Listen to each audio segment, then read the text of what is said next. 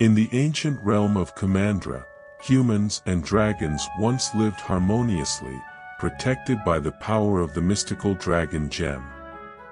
However, when sinister creatures known as the Druun threatened the land, the dragons sacrificed themselves to save humanity. The dragon gem was shattered, and the world fell into chaos. Centuries later, Raya, a brave and skilled warrior princess, set out on a quest to find the last surviving dragon and restore peace to Kumandra. She believed that if she could reunite the shattered pieces of the dragon gem, the Druun could be banished forever. Raya's journey took her through treacherous lands and perilous encounters.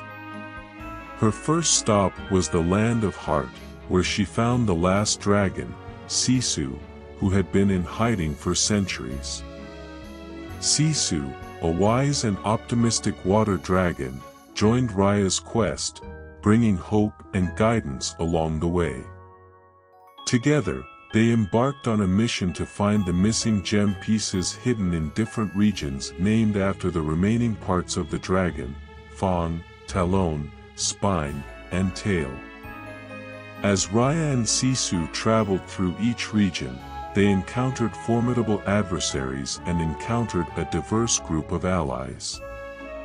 Among them were Boun, a young entrepreneur with a floating restaurant, Tong, a strong and loyal giant, Little Noi, a resourceful toddler with a group of monkey-like creatures, and a misunderstood con artist named Namaari, who hailed from the rival land of Fawn. Despite their differences, Raya and Namaari formed a tentative friendship, sharing a common goal of saving Kumandra. However, their trust was tested when Namaari revealed her true intentions and betrayed Raya, leading to the shattering of the restored dragon gem. This betrayal unleashed the Druun once again, plunging Kumandra into further chaos. Raya, filled with regret and determination, refused to give up. She realized that unity and trust were the key to defeating the Druun. She sought out her newfound friends, and together, they confronted the Druun in an epic battle. Raya's unwavering belief in the power of trust and forgiveness inspired the other tribes to put aside their differences and unite. In a climactic moment, Raya and Sisu combined their powers and successfully defeated the Druun, restoring harmony to Kumandra. The land healed, and the people learned the importance of trust, unity, and the lessons passed down by the dragons.